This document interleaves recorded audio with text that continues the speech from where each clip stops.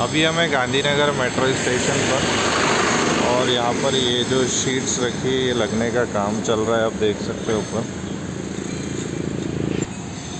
देख सकते ये शीट ऊपर लग रही है।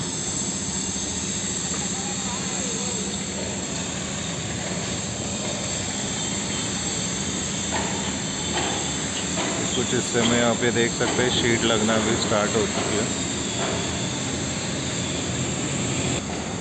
कि तेज़ गति से काम चल रहा है इस मेट्रो स्टेशन का। एस्केलेटर लग चुका है स्टेयर केस टाइल्स वगैरह है उसका काम हो चुका है।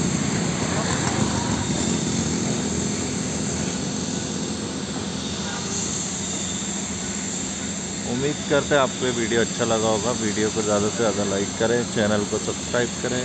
Thank you so much for watching